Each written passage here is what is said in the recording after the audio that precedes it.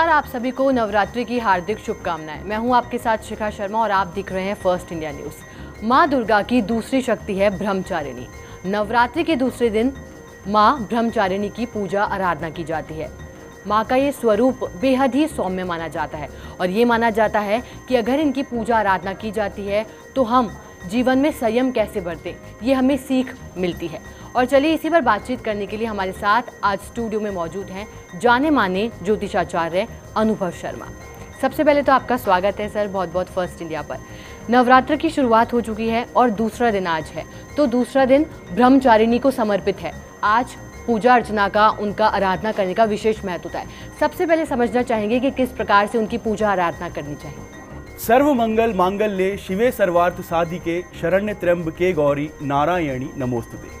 सृष्टि, स्थिति, विनाशना, शक्ति, भूते, सनातनी, गुणाश्रयी, गुणामयी, नारायणी, नमोस्तुते। सभी देश प्रदेश वासियों को नवरात्रि पर्व की हार्दिक शुभकामनाएँ। ब्रह्मचारिणी। ब्रह्मचारिणी का अर्थ तप की चारिणी, यानी कि तप का आचरण करने वाली। देवी का यह रूप पूर्ण ज्योतिर्मय और अत्यंत ही भव्य है। इस देवी के दाएँ हाथ में जप की माला है और बाएँ हाथ में ही है कमंडल धारण किए हुए हैं। माँ दुर्गा का यह स्वरूप भक्तों और सिद्धों को अनंत ही फल देने वाला है। इनकी उपासना से तप, त्याग, वैराग्य, सदाचार और संयम की वृद्धि होती है। पूर्व जन्म में इस देवी ने हिमालय के घर पुत्र रूप में जन्म लिया था और नारद जी के आदेश से भगवान शंकर को पति रूप में प्राप्त करने के लिए इन्होंने घोर तपस्या की थी। इस कठिन तपस्या के कारण इन्हें ब्रह्मचारिणी नाम से संबोधित किया गया। इसके साथ में मैं आपसे ये भी जानकारी चाहूँगी क्योंकि नवरात्रि में नौ दिन नौ रंगों का विशेष महत्व होता है, क्योंकि दूसरा दिन है माँ ब्रह्मचारिणी की पूजा, आराधना की जाती है। तो ये जानना चाहेंगे कि दूसरे दिन किस रंग के कपड़े पहनने चाहिए? जी, बहुत ही अच्छा प्रश्न किया आपने। जैसे नवरात्रों का मतलब होता है दुर्गा के नौ स्वरूप। शैलपुत्री, ब्रह्मचारिणी, चंद्रघंटा कुष्मांडा स्कंद माता कात्यायनी, कालरात्रि, महागौरी और सिद्धिदात्री। तो जो सेकेंड डे की जो पूजा है, जिसे ब्रह्मचारिणी की पूजा में हम कहते हैं तो उस दिन हम हरे रंग के कपड़ों का पहन करके हम पूजा करेंगे। हरे रंग के कपड़ों का इसमें एक अलग ही महत्व है। देखिए, पूजन की विधि पे आपसे समझना चाहेंगे कि किस प्रकार से माँ की पूजा आराधना करनी चाहिए, क्या विधि है, किस तरह से हमें ध्यान रखना चाहिए पूजा करते समय। देखिए सेकेंड डे की जो पूजा का विधान है, ब्रह्मचारिणी की पूजा का, यह अत्यंत ही सरल है। इस दिन हमें कुछ ज़्यादा खास नहीं करना है। अगर हम नौ दिन जोत लेते हैं तो हमें रोज़ाना नौ दिन जोत लेनी पड़ेगी। और इस चीज़ का हमें ध्यान रखना है, जहाँ हम नवरात्रे बिठा रहे हैं, वह हमारे घर का ईशान कोण हो, यानी कि नॉर्थ ईस्ट कॉर्नर और हम जो चौकी बिछा रहे हैं, उस चौकी पर हमें लाल कपड़ा बिछाना है, काला और नीला कपड़ा हमें वहाँ पर नहीं बिछाना है। सपरिवार, हम पूजा करें, हम जोत लें और माँ दुर्गा की आरती करें। और जो ब्रह्मचारिणी का जो एक प्रमुख मंत्र है, वो मंत्र मैं हमारे दर्शकों को बताना चाहूँगा। या देवी सर्वभूतेषु ब्रह्मचारिणी रूपेण संस्थिताए नमस्तस्य नमस्तस्य नमस्तस्य, नमो नमः। इस मंत्र का जाप हमारे दर्शक ज़रूर करें। देखिए, यह जो ब्रह्मचारिणी, जो माता है, इनका ये एक प्रमुख मंत्र है। अगर इस मंत्र का जाप अगर हमारे जातक 108 की अगर एक माला भी अगर प्रतिदिन करते हैं तो यह उनके लिए बहुत ही शुभदायक और फलदायक रहेगा ये तो हो गई पूजन विधि की बात, लेकिन हम आपसे ये भी जानना चाहेंगे कि अगर इन देवी की पूजा आराधना की जाती है तो ऐसा भी कहा जाता है कि कठिन वक्त में भी, कठिन संघर्षों के दौरान भी हमारा मन जो है वो विचलित नहीं होता। और आजकल के समय में सबसे बड़ी समस्या सभी के सामने ये है कि किस तरह से जो है हम अपने मन को संयम में रखें। तो आप बताइए कि उसका क्या उपाय है और क्या उसके लिए भी कोई मंत्र है? बिल्कुल, बहुत ही अच्छा प्रश्न किया आपने। देखिए, ब्रह्मचारिणी से हमें यही सीखने को मिलता है कि कठिन संघर्षों में भी मन को विचलित नहीं करना चाहिए, हमें आत्मसंयम नहीं खोना चाहिए। देखिए, नवरात्रि के जो दिन है, इसको शक्ति के स्वरूप दिन माना जाता है। और शक्ति कौन है? शक्ति ब्रह्मांड का वह स्वरूप है, क्योंकि इस संसार में जितनी भी शक्ति निहित है, चाहे वो मानव में हो, चाहे प्राणी में या किसी जीव में, वो शक्ति का ही स्वरूप है। तो इसके लिए अगर आप माता की अगर सच्चे मन से, सात्विक रूप से, देखिए सात्विकता का मैं शब्द का उपयोग यहाँ पर इसलिए कर रहा हूँ क्योंकि ये नौ दिन आपको बहुत ही संयम से और सात्विक रहना है। सात्विक रहने का मतलब यहाँ पर यह है कि आप अपने मन को काबू में रखें। और अगर जिस दिन आपका मन काबू में हो गया, उस दिन ये समझ लीजिए कि आपकी काफ़ी चीज़ें वो खत्म हो जाएँगी। काफ़ी समस्याएँ आपकी खत्म हो जाएँगी। तो आप माता का जो नौ दिन है, इस दिन आप संयम से रहें, सात्विक रहें। सात्विक रहने का मतलब यहाँ पर है कि आप सात्विक कपड़े पहने, आपका जो भोजन है, वह भी सात्विक होना चाहिए। आप लहसन प्याज का उपयोग ना करें और मैं और भी कई चीज़ें हमारे दर्शकों को बताना चाहूँगा, जो नवरात्र में उनको नहीं करनी है और क्या उनको करना है। जो चीज़ नहीं करनी है, वो मैं आपको पहले बताता हूँ। देखिए, नवरात्रि में एक तो आप नाखून काटने से बचें और अपने बालों को काटने से बचें। आपको नवरात्रि में ना तो अपने नाखून काटने हैं, ना ही अपने बाल कटवाने हैं। चमड़े की चीज़ों का उपयोग अगर आप जितना ज़्यादा कम करेंगे नवरात्रि के नौ दिनों में, उतना ही आपके लिए बहुत ही अच्छा रहेगा। और अगर आप फलाहार करते हैं, जितना फलाहार आप करेंगे, उतना ही आपके लिए अच्छा रहेगा। और आप तलीय चीज़ों का उपयोग बिल्कुल भी नवरात्राओं में ना करें।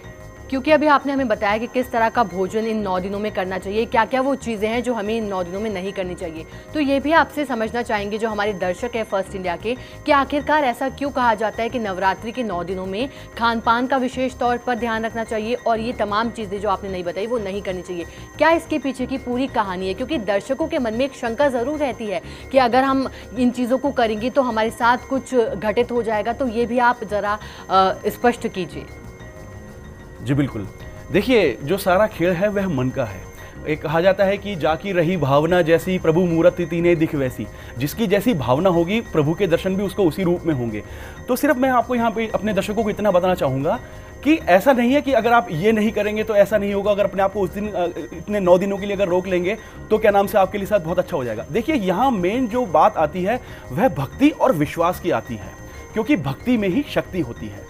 तो आप जितना भक्ति रूप में महाशक्ति महाशक्ति की आप आराधना करेंगे, पूजा करेंगे, उतना ही आपके लिए बेहतर रहेगा और आप किसी प्रकार का कोई संकोच ना करें। अगर आप पूजा कर रहे हैं तो आप पूरे पूर्ण रूप से लीन होकर के माता की पूजा करें। अगर आपको लगता है कि अगर आपको पूरे नौ दिन अगर आप व्रत रख सकते हैं तो पूरे नौ दिन आप व्रत करें।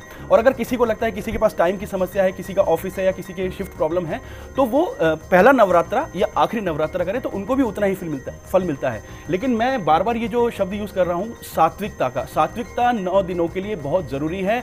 अगर आप ये सात्विक होकर के अपने पूर्ण विश्वास के साथ में माँ की आराधना करेंगे तो आपको नवरात्रि का जो फल है वह अधिक मिलेगा। और चलिए आगे आपसे हम पूर्ण पूजा विधि भी जानना चाहेंगे। जो लोग व्रत कर रहे हैं नवरात्रि के नौ दिनों में उन्हें किस तरह से पूजा करनी चाहिए? जी बिल्कुल।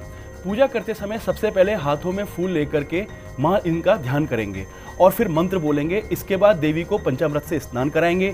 फिर अलग अलग तरह के फूल, अक्षत, कुमकुम, सिंदूर माँ को अर्पित करेंगे। देवी को सफ़ेद और सुगंधित फूल हम चढ़ाएँगे।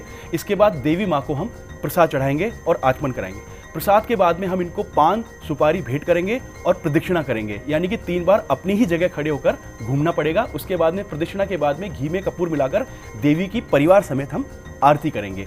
इसके बाद हम क्षमा प्रार्थना करेंगे कि अगर हमसे कोई त्रुटि हो गई है क्षमा हो गई है तो हमें माफ़ कीजिए। इसके बाद हम प्रसाद चढ़ा करके हम प्रसाद को वितरित करेंगे। अच्छा ये भी आपसे जानकारी चाहेंगे कि जो दर्शक नवरात्रि के नौ दिनों में उपवास रखते हैं, वो अपना उपवास किस तरह से खोलें? देखिए, जो हमारे दर्शक अगर पूरे नौ दिन नवरात्रे कर रहे हैं, उनके लिए मैं बताना चाहूँगा, जैसा मैंने पहले बताया कि तलीय चीज़ों का उपयोग बिल्कुल भी ना करें। वो फलाहार करें और एक टाइम पर भोजन करें। अगर वह भोजन शाम के समय पर करते हैं, यानी संध्या काल के बाद में अगर वो भोजन करते हैं तो उनके लिए बहुत ही अच्छा रहेगा। वह फलाहार कर सकते हैं और उसके अलावा मतलब काफ़ी सारी चीज़ें हैं। कई, जो हमारे कई दर्शक हैं, जो मतलब अलग अलग तरीके से उपवास करते हैं, कोई क्या खा करके उपवास करते हैं, कोई क्या खा के उपवास करते हैं तो जिसकी जैसी श्रद्धा हो, वो उसी हिसाब से उपवास करें। लेकिन अगर आप खाना खा रहे हैं, अगर पूरे नवरात्र में अगर आप एक टाइम पे खाना खा रहे हैं तो आप शाम के समय पे अपना व्रत खोलें। और मैं एक चीज़ और बताना चाहूँगा कि पहले देवी माँ के मंदिर जा के, माता रानी के दर्शन करने के बाद में अगर आप अपना व्रत खोलते हैं तो यह आपके लिए बहुत ही अत्यधिक लाभदायक रहेगा। ये भी आपसे जानकारी चाहेंगे कि जीवन में माँ ब्रह्मचारिणी का ध्यान करना क्यों हमारे लिए अति आवश्यक है? क्यों हमें निरंतर उनका ध्यान और विग्रह करना चाहिए? देखिए, जैसा कि पहले ही मैंने बताया कि यह बहुत ही संयम की देवी है और इससे इनसे हमें एक आत्मविश्वास सीखने को मिलता है और हमें एक चीज़ सीखने को मिलती है कि जीवन में परिस्थिति कैसी भी हो, हमें किसी भी रूप से विचलित नहीं होना चाहिए। और आज के समय में खासकर युवाओं में एक चीज़ देखने को मिल रही है, बहुत जल्दी विचलित हो जाते हैं, बहुत जल्दी अपना कॉन्फिडेंस लूज़ कर देते हैं। किसी भी चीज़ को पाने की जो इच्छा है, वो बहुत ही प्रबल रहती है और बहुत जल्दी उस चीज़ को पाना चाहते हैं। तो मैं हमारे दर्शकों को ही बताना चाहूँगा कि अगर वो ब्रह्मचारिणी की अगर आराधना कर रहे हैं तो उनसे उनको तप सीखना चाहिए, क्योंकि तब का जो फल होता है और जो मेहनत का जो फल होता है, वो बहुत अत्यधिक अच्छा होता है। तो अगर आप किसी भी चीज़ को लेकर के तब करेंगे, प्रार्थना करेंगे और ईश्वर के ऊपर संपूर्ण विश्वास करके अपने कोई भी कार्य को करेंगे तो वह कार्य आपका ज़रूर ही फल निश्चित होगा। और आगे भी और सवालों के जवाब जानेंगे हम ज्योतिषाचार्य अनुभव शर्मा से, लेकिन यहाँ वक्त है एक छोटे से ब्रेक का, आप हमारे साथ बने रहिए।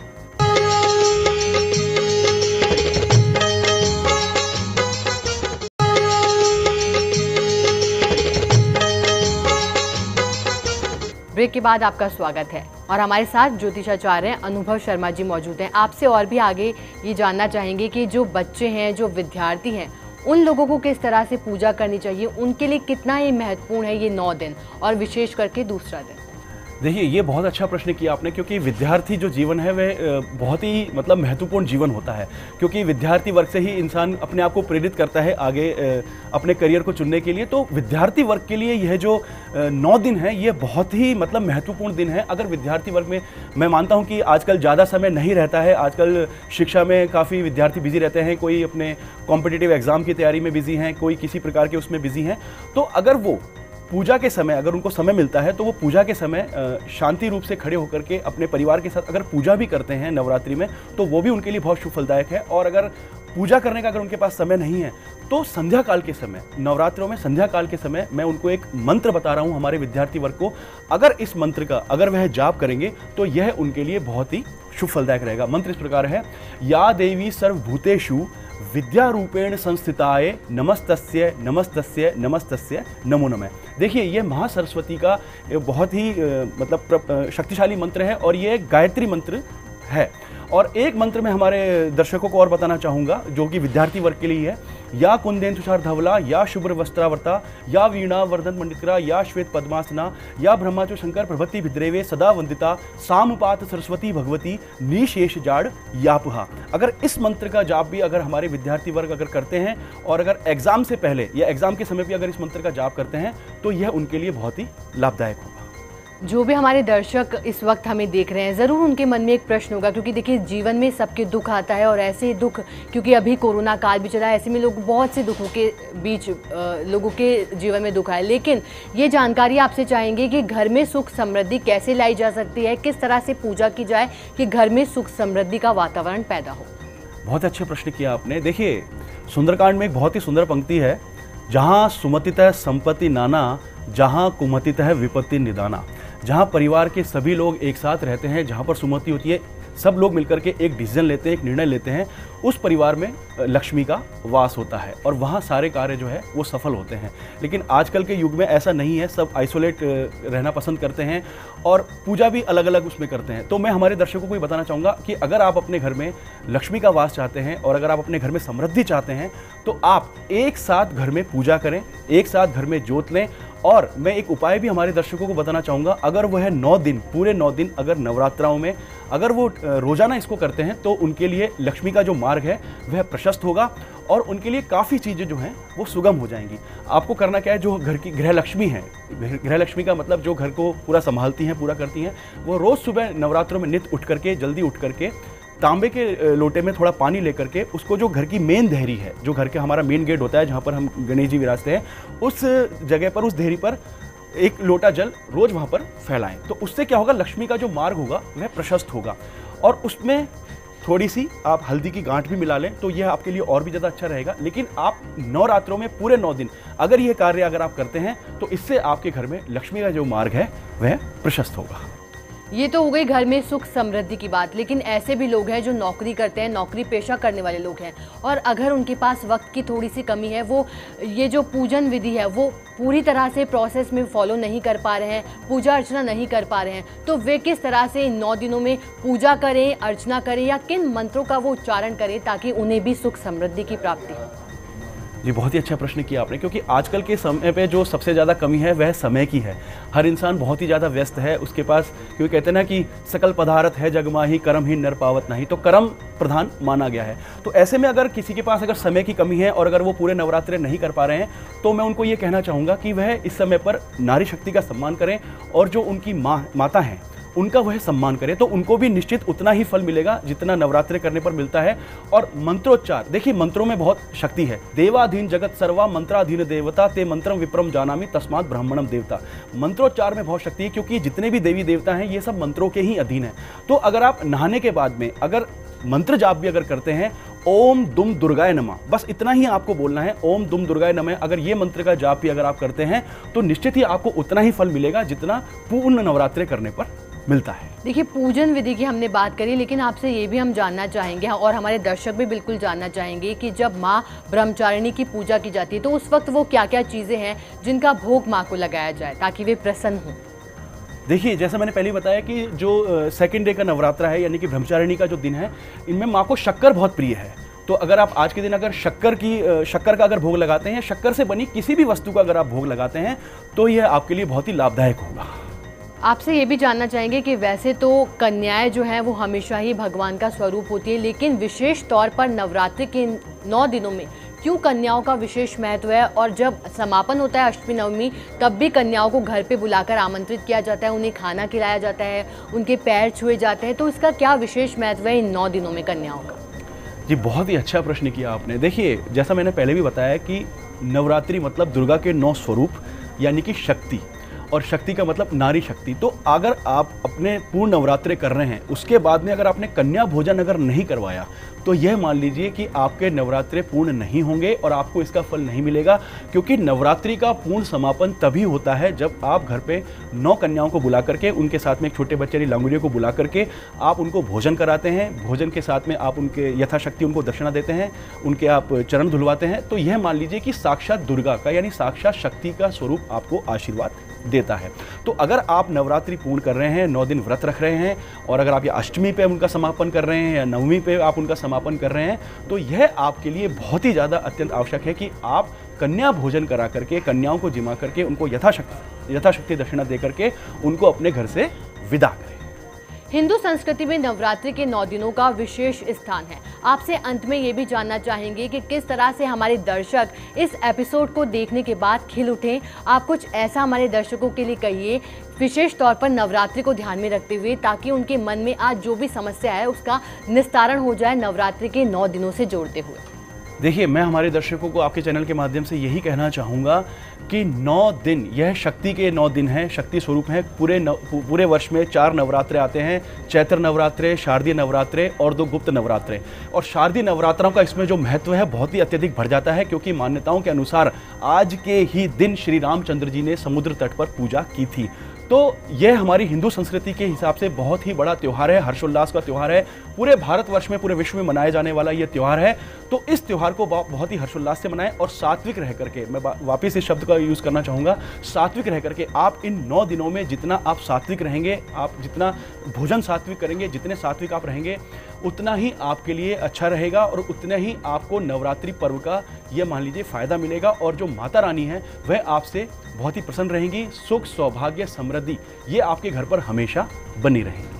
और बहुत बहुत शुक्रिया, ज्योतिषाचार्य अनुभव शर्मा आपका। आपने हमें वो तमाम बातें बताई जो एक दर्शक जानना चाहता है, तमाम पूजन विधि और किस तरह से पूजा अर्चना की जाए, आपका बहुत बहुत शुक्रिया। और इस पेशकश में फ़िलहाल के लिए इतना ही। आप बने रहिए हमारे साथ और नवरात्रि की आपको हार्दिक शुभकामनाएँ।